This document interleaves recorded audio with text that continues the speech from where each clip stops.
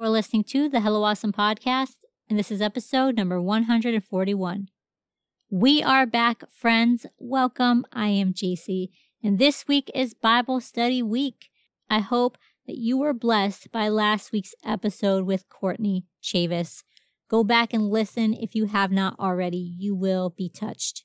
But today we head back into the book of Genesis as we have been studying the purpose of life. Why are we here? What's God's purpose? What is our purpose?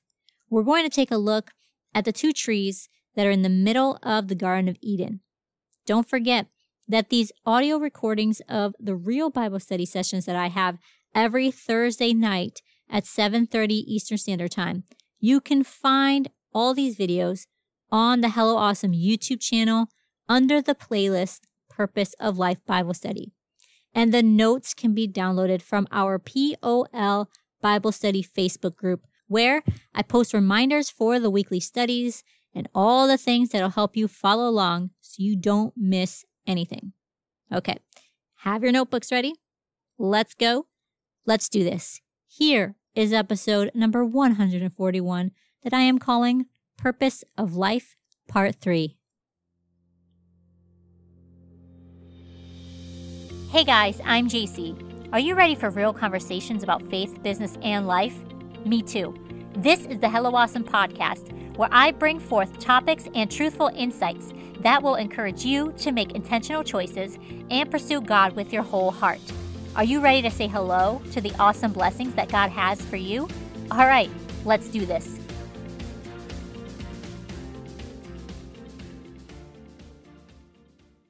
Hey, before we get into this episode, let me just share with you a couple of things some of my friends are doing. Over at Oneness Essentials, you can get handcrafted soap and beauty products that will make your skin fall in love with you again. Go to onenesssoapbiz.com and use our special code HELLO8 for 15% off your next order. Also, Jessica's Most Modest has some amazing clothing that you need in your wardrobe next season. Go to jessmodest.com and use our code HelloAwesome for 15% off today. Years ago, when Summer Neal was asked to take over her church's social media, she didn't know where to start. She didn't know how to create content. She was not a professional photographer or videographer, and she didn't know a thing about how to connect people with online. Well, Summer does now, and she's eager to share that knowledge with you. The Social Pentecostal is a social media consulting company that seeks to empower the church to utilize social media effectively to reach the lost and to make heaven bigger by teaching social media's best practices to church leaders and creatives.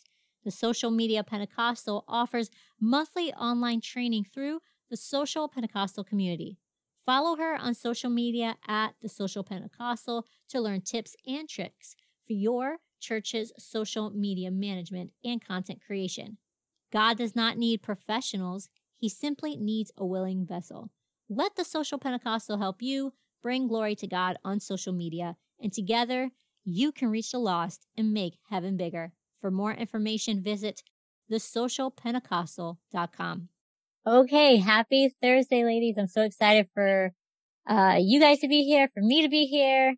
Um, this is really awesome. Uh, we are in part three of the purpose of life study. And that just means this is like the third time that I'm sitting down working through some of this material that I've kind of put together. This is not a study that I found. This is just something that I've been in prayer about and the Lord has given me every week, uh, to write down the purpose of life, answering all of our big questions. What's the purpose of life? What's our purpose? Um, who God is, who we are, all the things. And so, um, I'm excited and I cannot wait to get into it. So I've shared my screen again. If you missed part one or part two, I have those videos. You can catch the replay on my YouTube channel. So if you're watching this on YouTube, all you have to do is just go to my playlist that says purpose of life, maybe POL. I can't remember, but, um, it should have the other videos there. It has the same logo. So, so it'll help you find it. So let's talk about the purpose of studying the Bible, because for me, this was a big thing coming from a Catholic background, um, where for me in the, you know, 80s and 90s, um, they actually weren't really big on, um, on Bible, on, on teaching, uh, kids the Bible, at least not at the time. Um, unless it had to do with their, um, you know, Catholicism and their Catholic Bible, which still, uh, does adhere to some of the scripture. And, um, I remember going to CCD, which is catechism. It's basically like the Catholic Sunday school. And one of the biggest things that I remember as a kid feeling like so, like kind of confused was wondering why they never let me touch the Bible. They had one Bible in the room and they never let me touch it. And I was like, why won't I, why can't I touch it? And then I was always wondering, like, why wouldn't they let me bring one home? And I don't know if they, I don't know if it's something that they even thought about, like maybe they didn't have enough, but I was just seeing like a Bible, uh, just sitting there. And I was like, I just want to bring this home. And, um, it wasn't encouraged, I should say. So getting to understand the purpose of the Bible and studying the Bible was big for me. So th- this, these are the three things that I felt in my heart when it came to the purpose of studying the Bible. The first thing is the main purpose of studying the Bible, why it's important is to get to know the real thing so that we can spot the counterfeits. Just like money, there's real and then there's fake and people can make do by passing the fake off as real every single day. But that doesn't mean that it's real, right? And so just because you think something is real doesn't mean that it is real, right? You can say a cat is a dog, but that doesn't mean the cat's really a dog, if that makes sense. So like when you get to know the real thing, the Bible, what the Bible says, then when somebody else comes to you and tells you what the Bible says, you have been reading the Bible for yourself that you know whether or not they are true words or not. So we're not going to know everything of the Bible, but if somebody um, shares with you a story in the Bible and you have studied that story and they've said something about that story that's not true, you will be able to know for yourself whether that's true or not. And I know for me, sometimes that was always difficult because somebody would tell me that something is in the Bible and I would just believe them because I never read the Bible for myself. And we're going to see this when we go into the word of God, especially in Genesis. There are a lot of things that people talk about, even with Adam and Eve and the fruit that they ate. And we're going to see what our, our preconceived notions are in contrary to the real thing. So getting the, the purpose of studying the Bible, number one, is to get to know the real thing so that we can spot the fake, right? Spot the counterfeit. That way we don't have to be, we don't, we're not fooled, right? People use knowledge all the time to get what they want, especially if they don't think that the other person knows what they know. The second thing is to understand the ways of God, which will teach us about our ways. Now, when we talk about the purpose of life, we all want to find our purpose. Of course we do. We all want to know what, why am I here? What's my purpose? And the biggest thing, the biggest, the biggest way to do that is when we understand the ways of God and we, we actually ask God these questions, these hard questions, and he begins to show us in the Bible the answers. It's also going to not only teach us about who our God is, but it's ultimately going to teach us who we are and who God says that we are. And then the third purpose of studying the Bible is to, this one's the hardest one, of course, but it's to receive correction in love and an opportunity to repent, which means turn away from doing wrong so that we are changed. Now this, I think the first two purposes people usually agree. I'm sure people would agree. Yeah, I would like to read the Bible so I know what's real and I know what's fake. Yes, I would like to read the Bible so I could understand the ways of God, so I could know who I am through God. But the third one is really, really challenging. And that's because we have to recognize that he is God and we're not. And that's a hard thing to say because that means that we don't have all the answers and we don't know things like he knows. So the third purpose is probably the hardest and it's probably where people usually draw the line, right? I don't want to receive correction, even if it's in love.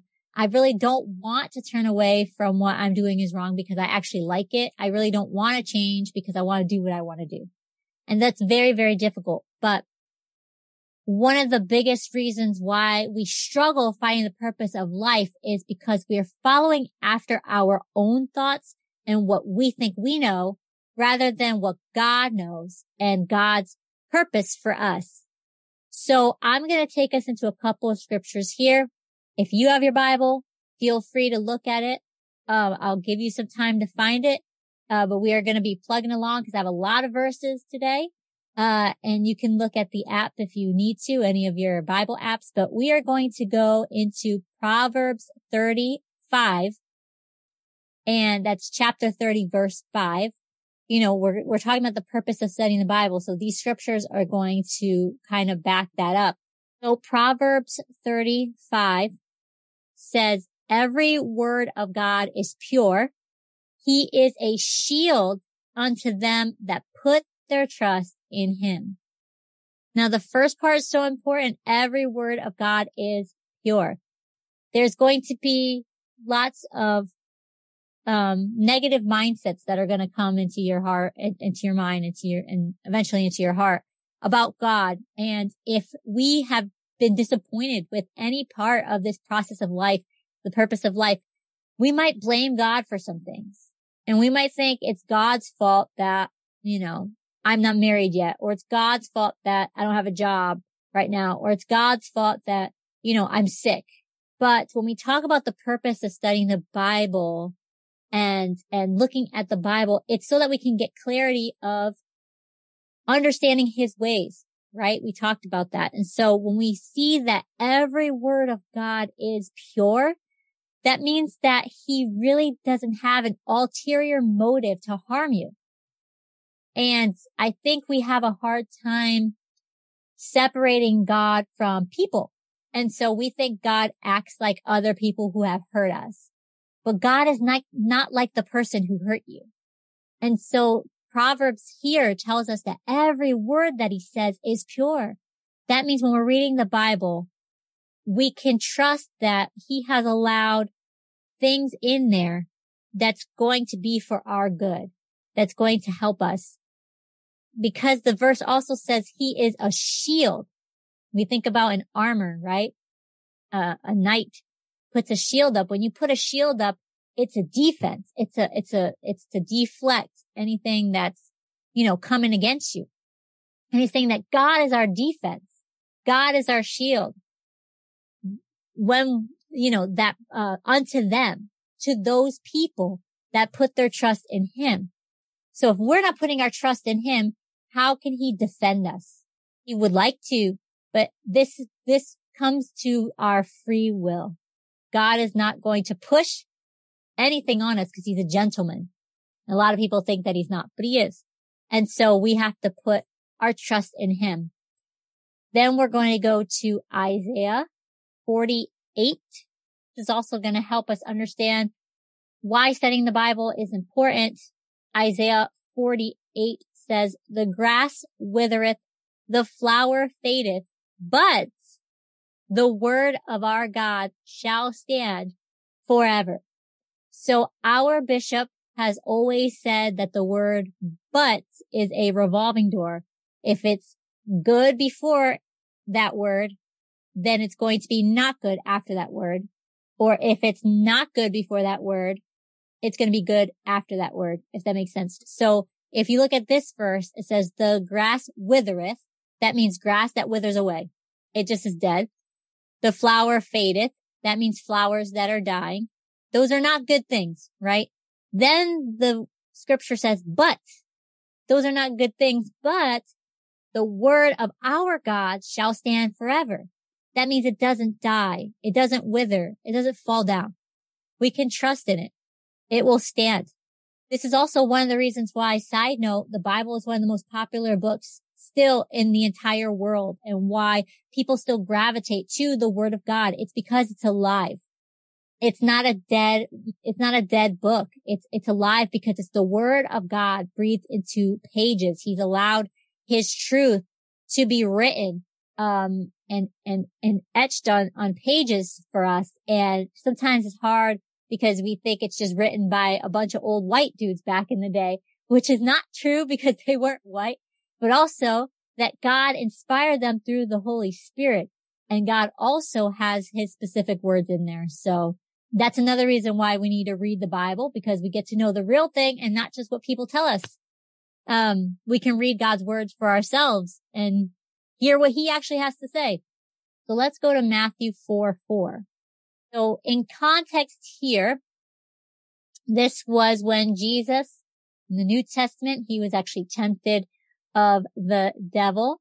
He fasted for 40 days and 40 nights and he was very, very weak and hungry. And the devil came and tempted him. This was right before, uh, obviously the crucifixion. And so this was a test for Jesus. But of course, Jesus, um, can withstand anything. Um, but, um, the devil was tempting, uh, Jesus and was saying, if you are the son of God, turn these stones to bread.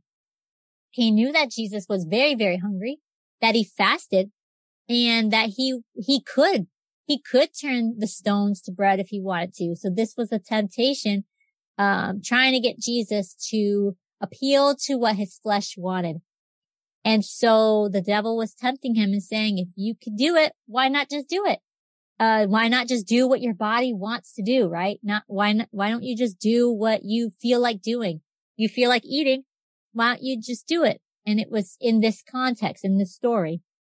Uh, but in Matthew 4, 4, Jesus answers the devil and says, it is written, man shall not live by bread alone, but by every word that proceedeth out of the mouth of God. It means that we are not supposed to be just sustained physically in our flesh. We can't live by um, just feeding ourselves, our flesh, our body, our, let's just say our human nature. Uh, but by every word that comes out of the mouth of God, that's how we can truly live. We can unpack all of these. These are obviously we could be here all night if I, if I unpacked all of these, but we're going to go to Ephesians 4, starting at 11. And I'm not going to go into all of this because this can be long, but basically, uh, the writer of Ephesians, the apostle Paul was wrote, was writing to the Ephesian churches and he was explaining that God gave in Ephesians 4:11 he says, and he gave some apostles and some prophets and some evangelists and some pastors and te- teachers. He's talking about the different roles that people play in a church, in, in the body of Christ, I should say, in the kingdom of God, that everybody has a calling, everybody has a job, and it may not, it, it's not going to be the same. And he says in verse 12, for the perfecting of the saints, perfecting means to make better, doesn't mean to be perfect. It just means to, you know, make better for the work of the ministry, for the edifying of the body of Christ. That means uplifting us as uh, the church till we all come in the unity of the faith and of the knowledge of the son of God unto a perfect man, unto the measure of the stature of the fullness of Christ. Okay. He's saying that Paul is saying that God gave apostles and prophets, evangelists, pastors, teachers, all these people who have different callings in their life, different purpose, you know, uh, separate from the main purpose to obviously help us get better, to teach us, to help us be unified in the faith, right? And this is why in verse 14, it says that we henceforth be no more children tossed to and fro and carried about with every wind of doctrine by the sleight of men and cunning craftiness, whereby they lie in wait to deceive. Okay. That means that when we are together as the church together, different people with different callings in the church, when we come together and we unify, we build each other up in the faith. We help each other walk this, um, which can be difficult road of life together so that we are not tossed to and fro between people who are teaching us wrong things. This is, this goes along with getting to know the real thing so that we can spot the counterfeit, right? Carried about with every wind of doctrine. You have to think of, think about everything we hear now in this world. People are telling you, believe this, believe that, right? Different religions have different gods. Different churches have different belief systems and we feel pulled in all different directions and we don't know who's right. And this is what Paul is saying is that if we can just stick to what God says and we unify together, um, we're not going to be tossed to and fro. We will have clarity and we will know, um, the cunning craftiness that people sometimes have that they lie in wait to deceive. There are people who are going to purposely deceive us because of what's in their heart. But in verse 15, it says, but speaking the truth in love may grow up unto him in all things, which is ahead, even Christ. So it's just showing us that one of the reasons why we need to study the Bible and we need to come together as the church, as the children of God is so that we can spot the counterfeit. We know what's free. We know what's right. We know what's wrong. And we aren't going to become victims of somebody else's deceit. And that's very important, especially now. We have social media. Everybody wants to be a preacher. Everybody wants to tell people what to do. Everybody wants you to buy their course, buy their thing that's going to make your life better. But is that what God wants for you? And is it actually going to make your life better the way God wants to make your life better? And side note, if you hear a lot of laughing, those are my kids upstairs. They're having a great time with their dad watching something funny, I'm sure. so let's go to Hebrews 4 12. This goes along with the third one. Receive correction in love and opportunity to repent so that we can be changed, right? The third purpose of studying the Bible, the one that's really difficult, but this is so, so important. And this is why when I say I am not the same person as I was when I started walking God 15 years ago, it's because of this. It's because I took time to read the Bible and I'm not tooting my own horn. It's just because I took time to read the Bible. The Bible and God's spirit working through the word because the word is alive, cut through all of my misconceptions, all the deceit that I had in my mind, all the things that I thought I knew about God, about me, about the world, about the purpose of life. And it cut through all of that and showed me what was real. And this is what Hebrews 4:12 says. For the word of God is quick. It can work fast and powerful and sharper than any two-edged sword. First, I want to say that if it's God's word, it's going to be powerful because it's coming from our creator. We've talked about that in the last couple of lessons. He's our creator. He forms us. And so when he speaks, that word alone is going to have power and sharper than any two-edged sword. That's a sword that you can cut two sides.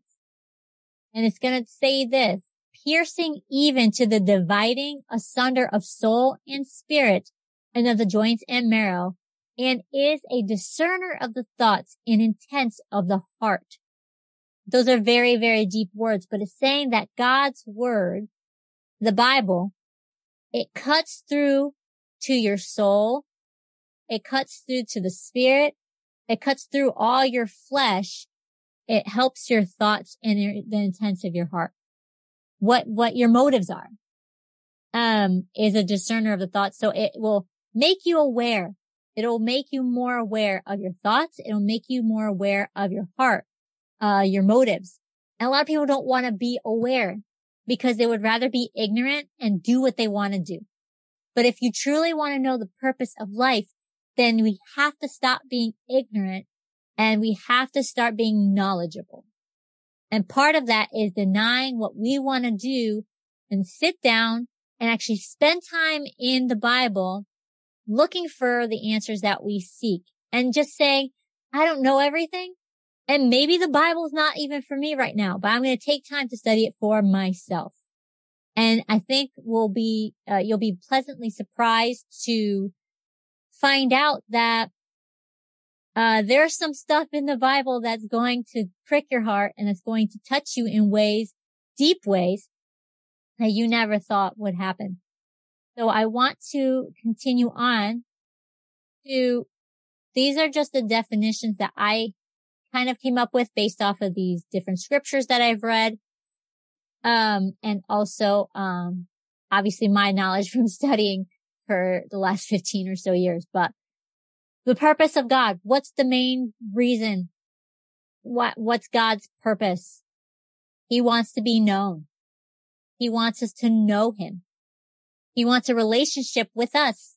It's the whole reason why he created us. Why would God even make people?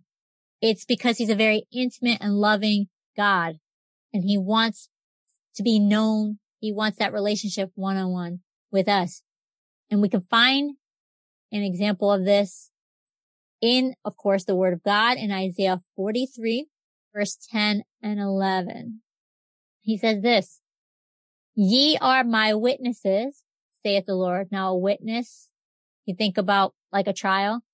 A witness is somebody who saw something that happened, right? They were there. They saw what happened and they can tell you what happened.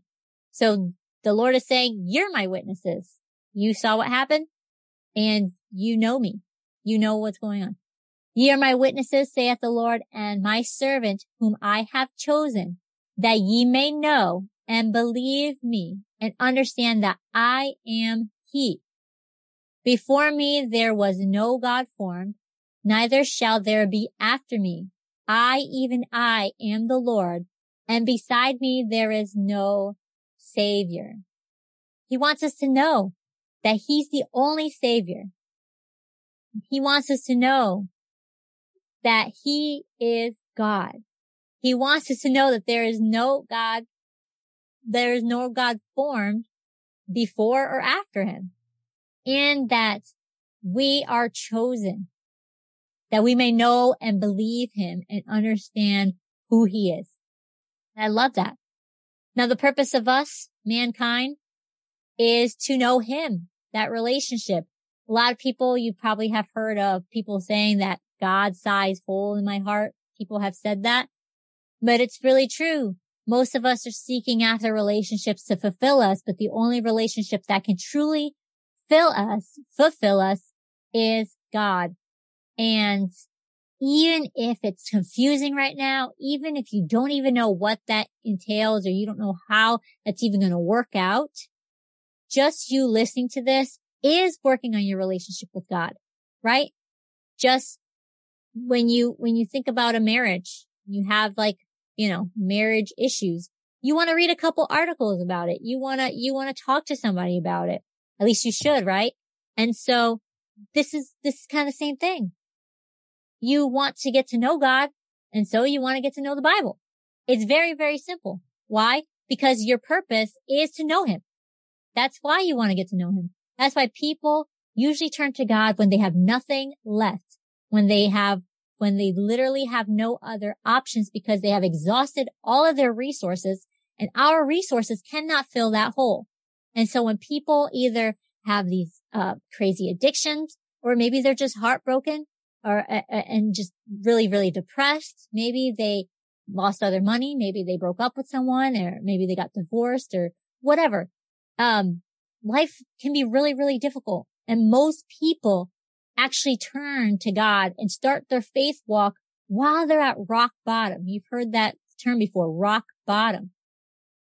And I've heard it said, once you hit rock bottom, you find the rock. And when you look at the scripture, it talks about how God is that rock. He's that solid foundation for us because we're meant to know him. And that's why when we've exhausted all of our resources and we're not happy anymore, usually people will go seek after God who has been waiting for them the whole time to save them, right? There is no other savior besides God. And so we're going to see, um, let's go to Deuteronomy. That's in the Old Testament between Numbers and Joshua. We're going to go to six, four, and five. This is a very key scripture. And I know if you've been in church for a long time, you've probably read this scripture and probably passed by it. Um, which is unfortunate because this is truly the heart of everything. Deuteronomy 6, 4 and 5 says, Hear, O Israel, the Lord our God is one Lord. remember what the last scripture said. There is no, there's no other God formed because he's only one. Lord our God is one Lord and thou shalt love the Lord thy God with all thine heart and with all thy soul and with all thy might. That's our purpose to get to know him, love him. Everything else, all the other details don't matter if this one is not taken care of first. This is the foundation first to get to know him. How does a relationship between a husband and wife start? It doesn't start on their wedding day. Maybe in some places. Okay. I'm not judging. Maybe it's arranged, but most relationships, okay, start with a, Hey, how you doing? What do you like? What's your favorite book?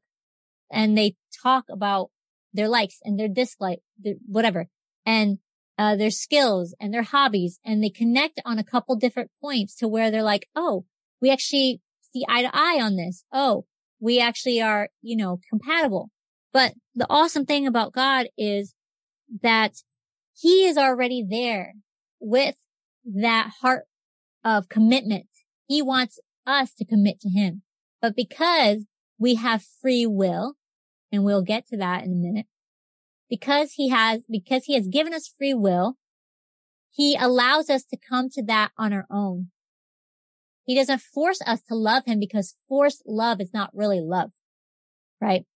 And so when most people want, most people say they want God to do something, it's because they want him to force himself to do it or they want to force us to do it. But that's not truly real love. But let's go to our, um, kind of our chapter here in Genesis. Hopefully we'll, we can get through some of this today. This is quite a bit. I might actually have to split this. I'm looking at the time now, but, um, let's go to Genesis 2. I, I honestly don't care if I have to split this as long as we are understanding the material and as long as I'm at a pace that is good for you guys. Cause I'd rather get small chunks and dissect it than try and devour big pieces and not understand. So let's go to Genesis 2, 8. So we have read in uh, previous, um, lessons um, God created the heavens and the earth, right? In the beginning, God created the heavens and the earth. We also talked about how God formed man from the dust of the earth. We talked about the breath of life. We talked about God being our creator. Um, talked about God being our father. And so here we are. Um, after God has formed man from the dust of the ground, he does something really interesting. He plants a garden and he has man that he formed put right in the middle of it. Now, I don't know about you, but I don't know if that would have been my plan, but that was his plan. So here's what it says. Genesis 2, 8 says, And the Lord God planted a garden eastward in Eden, and there he put the man whom he had formed. I wanted to highlight in the Lord God planted a garden because I want us to know that he provides for mankind. When we talk about the purpose of God, obviously God wants to be known. And part of that is he wants to be known as our provider. God does provide for us everything that we need, whether we believe it or not. And so this talks about God planting this garden and he puts man in the middle of it. This is the beginning of the Garden of Eden. This is the first time this is ever used in scripture is the Garden of Eden. Most of us, even if we're not in church or we've, or we've never read the Bible before, we've heard about the Garden of Eden. It's, it's, it's kind of like folklore now. But when we read the Bible, we see, oh, it's a real place that he made and he put man right in it. And it's interesting is that he put man in a garden because he's providing He's our provider. He gave life to man. And then he also gave him the resources to sustain that life. So he didn't just breathe life into man and then just said, okay, have fun. You're on your own. He provided an environment to help that life be sustained, to take care of him. And we're going to go to Luke 12, 28 and 31. This is going to help us understand God being our provider. It says this now, when the words are red that you see here, that means the, this is Jesus talking in the New Testament when you see red words usually in a Bible. And luckily my Bible app, uh, does that. It gives me the red words. So I know that this is Jesus talking. He's, he's teaching and he's speaking to someone here. So Luke 12, 28 through 31 says, if then God so clothe the grass, which is today in the field and tomorrow is cast into the oven, how much more will he clothe you, O ye of little faith? He's saying that God takes care of the grass, right? He gives it color. He takes care of it. And how much more is he going to clothe you? And he says, O ye of little faith, do you not trust in your knowledge of God?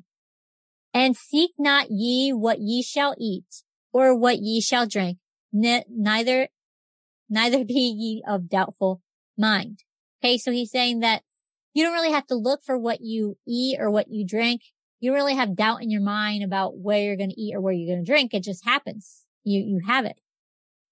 For all these things do the nations of the world seek after, and your father knoweth that ye have need of these things. Our father, our God knows what you need. That you need all these things. You need to eat. You need to drink. You need clothes. He knows all these things and they are there. We don't think about them, but God has provided that for us. And it says in 31, this is actually the first verse that I ever memorized, but rather seek ye the kingdom of God and all these things shall be added unto you.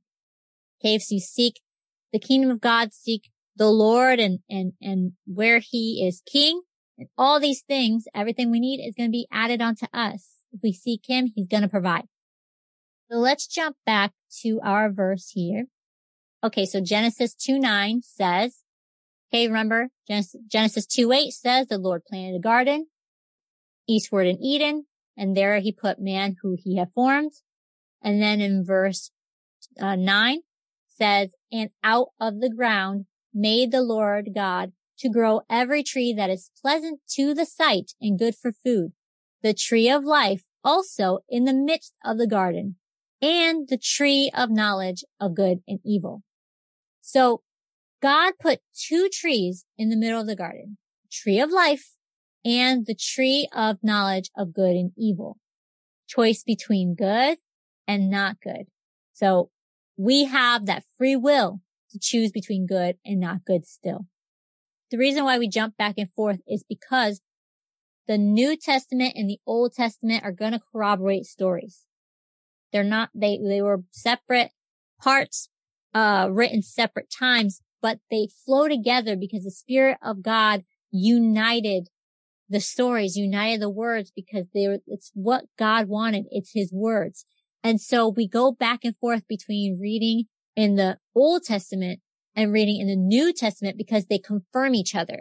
And it also gives us deeper insight into what God basically, who God is, his ways, and then who we are through God, right? And go back to that purpose of studying the Bible. And this is one of the ways that we could do that is by going back and forth. This is what Romans 12, 2 says. And be not conformed to this world. You know what conformed means? It's to, to be formed into something else. Be not conformed to this world, but be ye transformed by the renewing of your mind, that ye may prove what is that good and acceptable and perfect will of God. So it's saying don't be conformed by the world, by what everybody else is doing who are not following God, but be transformed by the renewing of your mind. You have to have a new mind. And that's what's the hardest part, right? Goes back to that correction. In order to do that is by following the will of God. I do want to look at what this says conform means. Yeah, to fashion yourself according to, right. So it's like to change yourself. Don't change yourself to what the world wants you to do. The world means outside of God's kingdom, outside of God's family, outside of God's will that's like the world. And so the Bible's saying don't conform to that. You, you need to be transformed by the renewing of your mind. Cause when your mind is renewed, you're going to prove what is good and acceptable and, and, and perfect you know, what is that good and, and acceptable and perfect will of God? The will of God is good and acceptable and perfect. And so when you have a new mind, it's going to confirm that. We're going to go to first John 2, 15 through 17. And again, it says the world. And when it says the world, it, like I said, it's outside of really the will of God. It's, it's people who are following after their own will and not the will of God. Um, first John 2, 15 through 17 says, love not the world, neither the things that are in the world. If any man love the world, the love of the Father is not in him, inside him.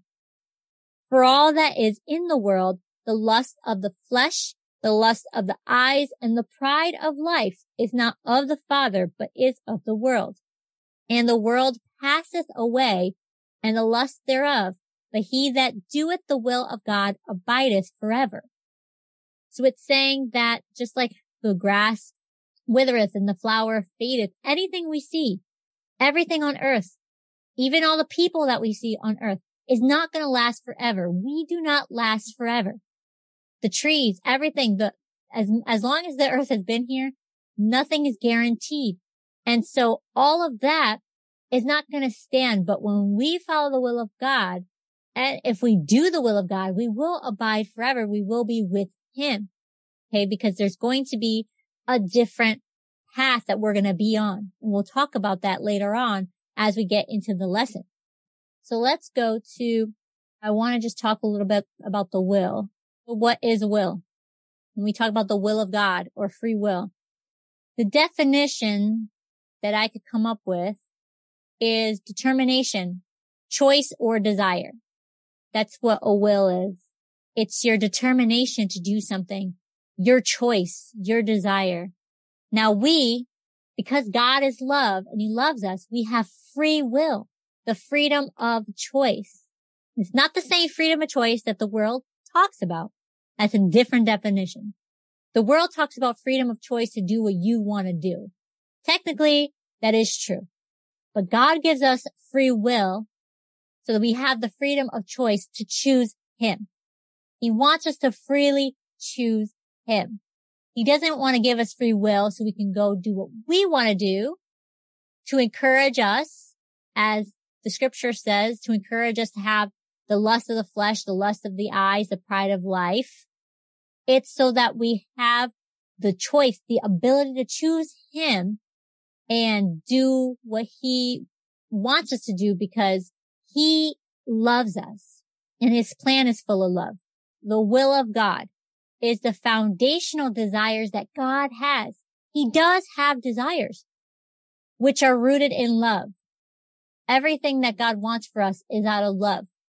Sometimes it's tough love, just like a parent and a child. Remember, he is our father and we are a child of God. Sometimes it's going to be tough love, but he does it because he loves us. So we think about a, a, a father and his child. If a father forces their child to love them, it's not really love and that child will resent its parent, right? And so if the, if, if the father, in this case, God, he, he truly has his desires is, they're rooted in love, then he's going to also obviously want that in return, but everything he does, even when he corrects us, is out of that love to make us better so that we, okay, can, can be on the right path and we can, we can obviously be in uh, right standing with him and we can have that real, authentic, loving relationship with our father, with our God. Now the will of man is different. That's following what we want to do. It's following after our own desires. And that's usually rooted in selfishness and lust. So if we think about an actual child, uh, as much as I love my children, we know that children sometimes can be very selfish because they don't understand, right? They don't understand usually the repercussions for their actions.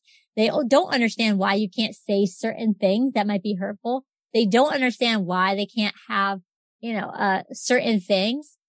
They, sometimes they don't understand why uh, you can't give them your undivided attention all the time, right? A lot of times children are just naturally immature and selfish, not in a, not to be rude or mean about it, but it's true. Children are just naturally rude, uh, not rude, hopefully not, but sometimes, but naturally selfish and, um, immature. And so that's usually how we are when we follow our own desires, right?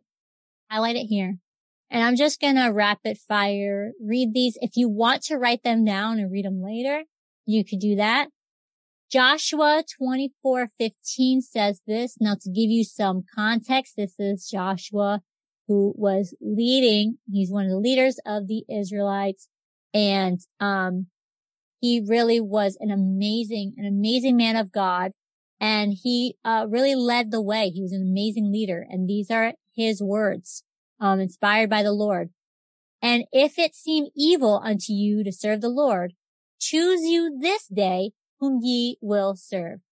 Whether the gods which your fathers served that were on the other side of the flood, or the gods of the Amorites in whose land ye dwell.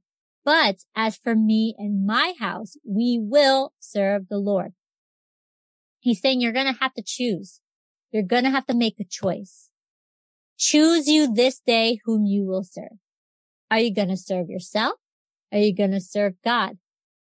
Now we're going to go back and forth throughout our Christian walk, throughout our faith walk. We will go back and forth choosing ourselves, saying sorry to God, going back to God. But as we stay true to what God wants us to do, we follow after his will.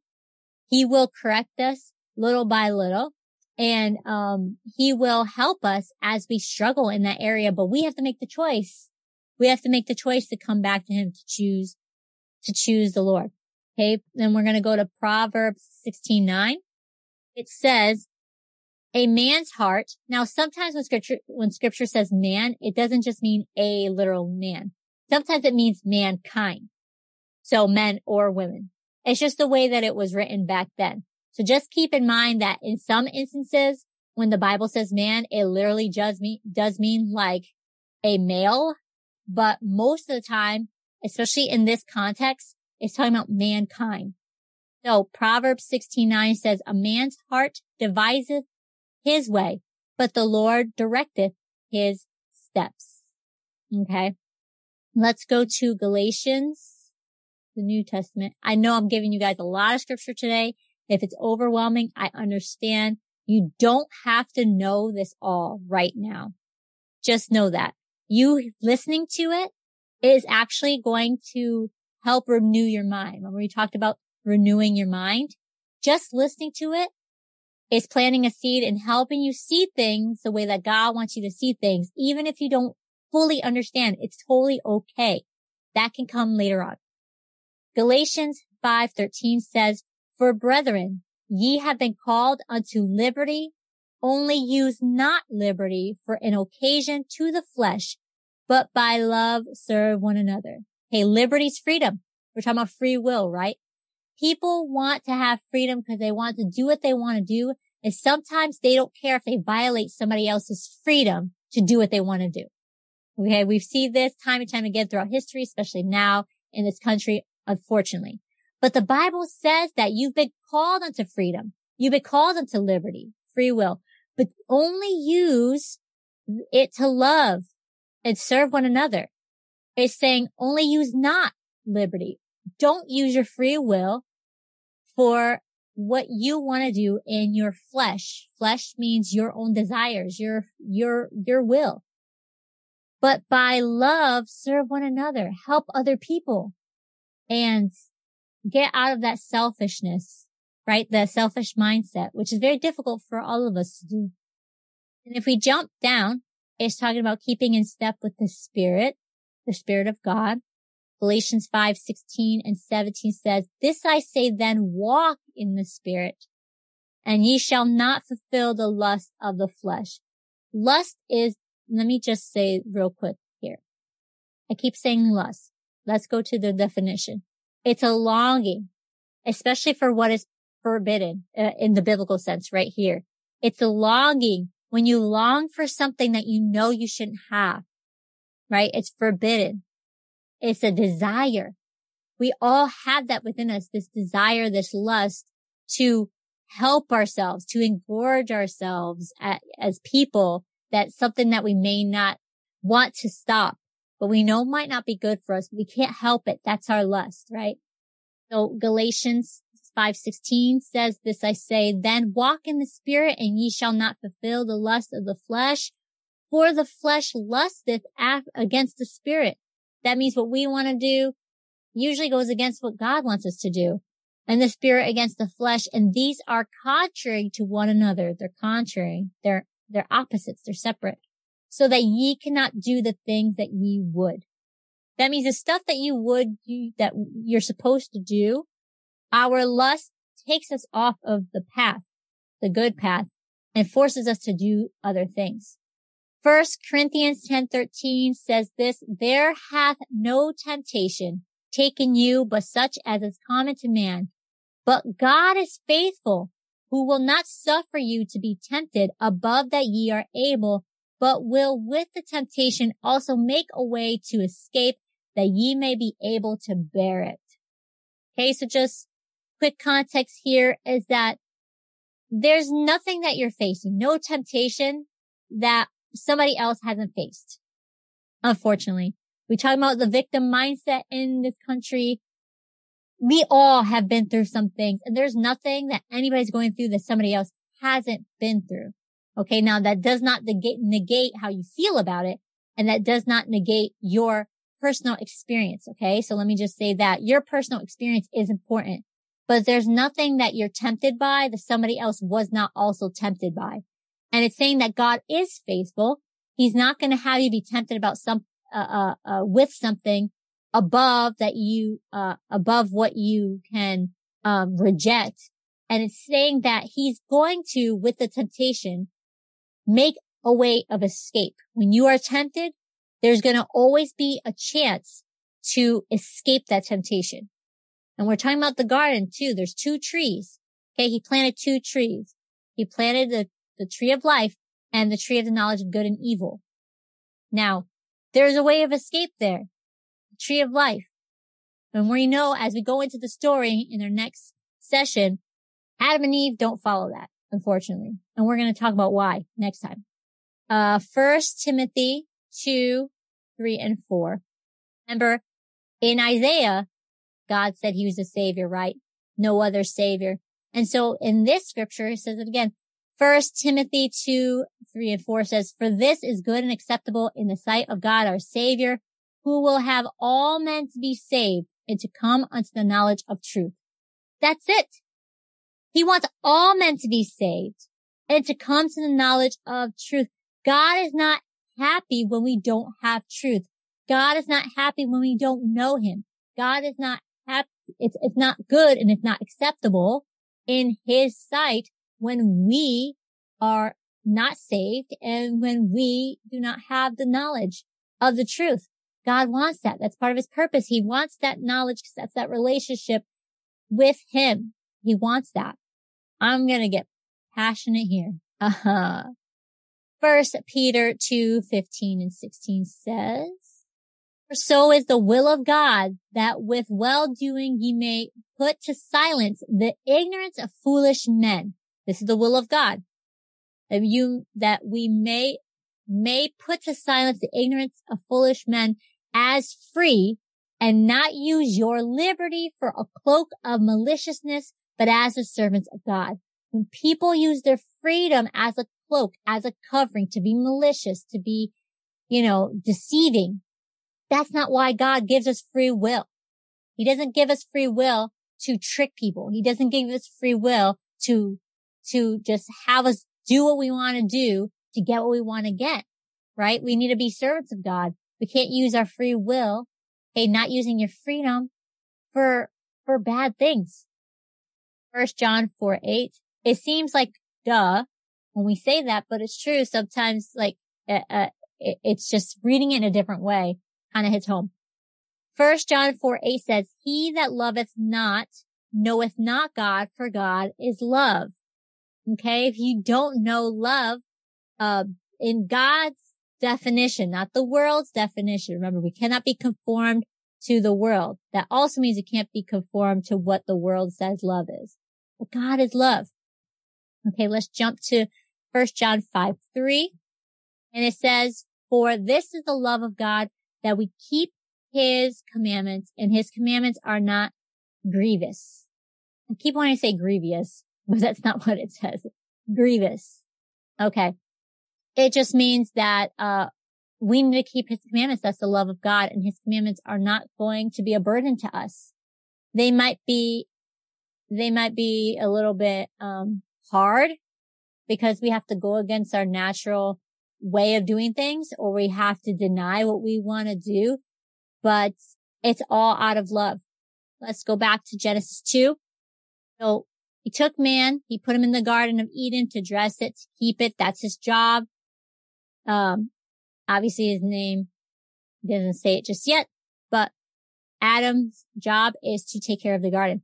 And so Genesis 2, 16 and 17 says, and the Lord God commanded the man saying, of every tree of the garden, thou mayest freely eat. You can freely eat of any tree in the garden.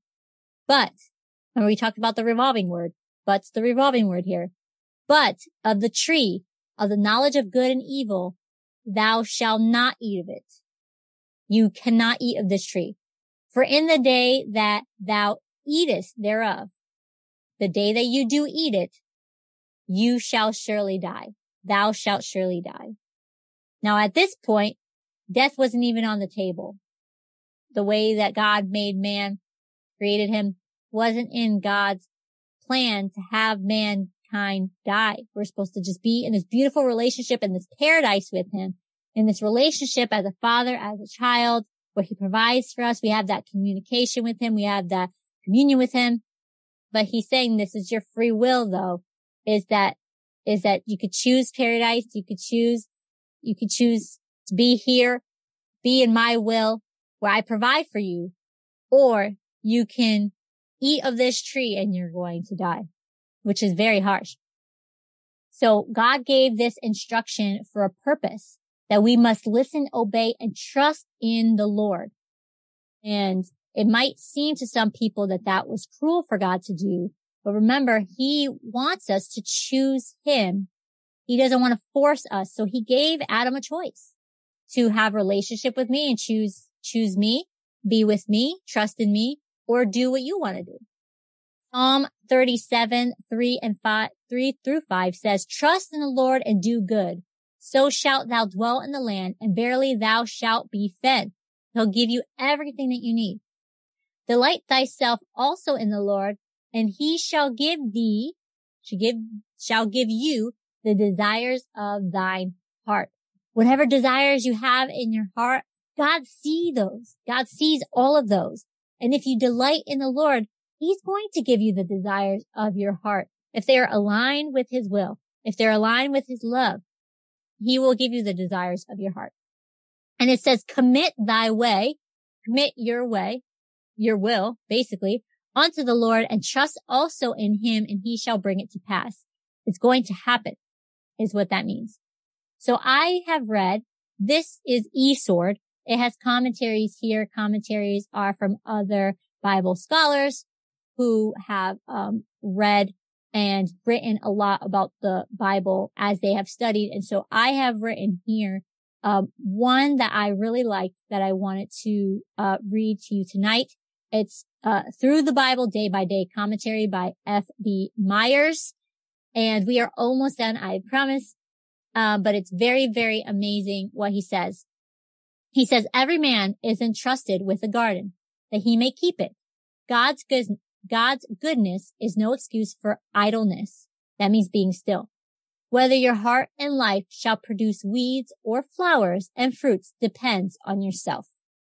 God's going to provide everything, but God can't provide your, your love for him, right? So you have to show up in that relationship. We have that freedom of choice. We could choose between our will or God's will. Okay. And we have these last couple verses here that I want to go through. Okay. So Jeremiah 17, 7 through 10 says, blessed is the man that trusteth in the Lord and whose hope the Lord is. For he, meaning the man, mankind, the person, shall be as a tree. This is a metaphor here. Planted by the waters and that spreadeth out her roots by the river and shall not see when he cometh, but her leaf shall be green and shall not be careful in the year of drought, neither shall cease from yielding fruit. Remember, God's going to provide everything we need. The heart is deceitful above all things and desperately wicked. Who can know it? I, the Lord, search the heart. I try the reins, even to give every man according to his ways and according to the fruit of his doings. Okay. So it's saying, unfortunately, when we follow our will, it's deceitful above all things. It's desperately wicked. Uh, but God sees that. He knows that and he's going to provide things for us. Let's go to Proverbs 423, one of my favorite verses. I'm going to say that a lot as we study. It says, keep thy heart with all diligence, for out of it are the issues of life. Keeping your heart with all diligence. Okay. If we quickly look at, uh, diligence here, uh, that means on guard. Okay. Keep your heart on guard. If you keep your heart with all diligence, keep your, keep your heart, uh, guarded at all times, for out of it are the issues of life. That's where things come from. How we feel, our choices, our motives.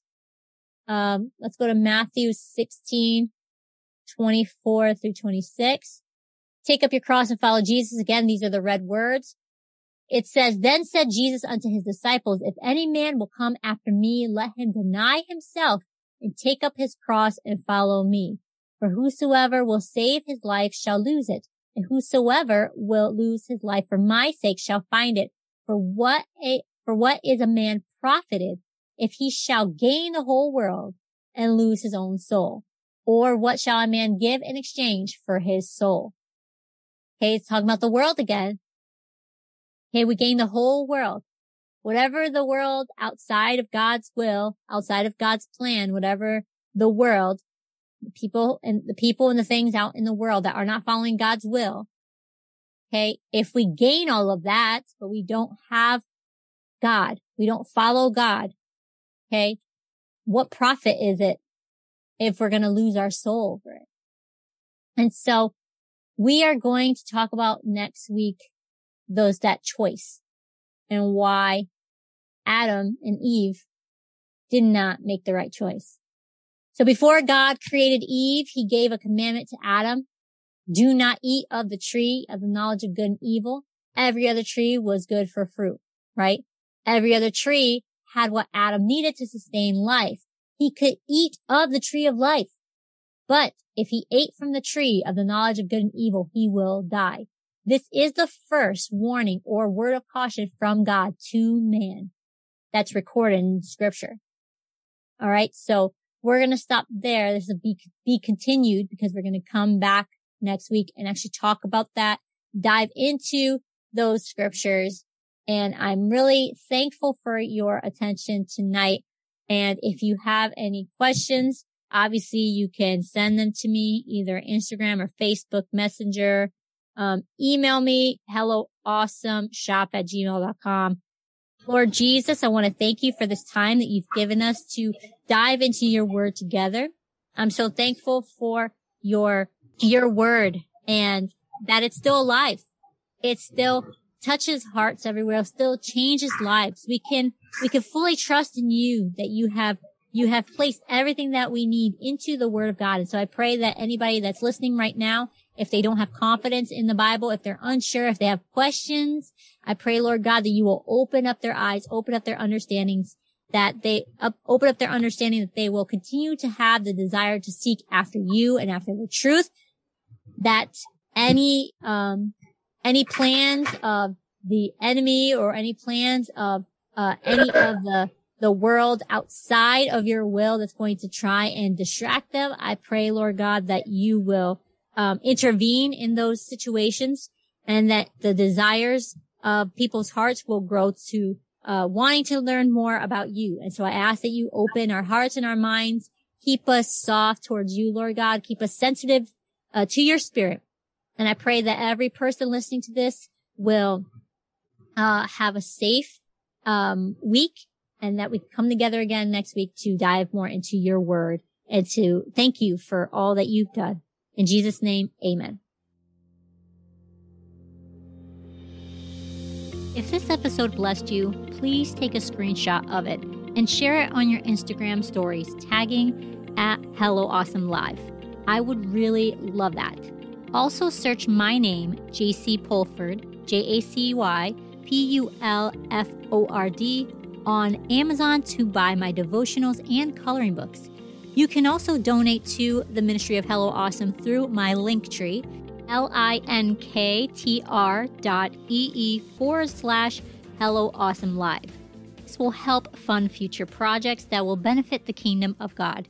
Until next time, keep your chin up, beautiful.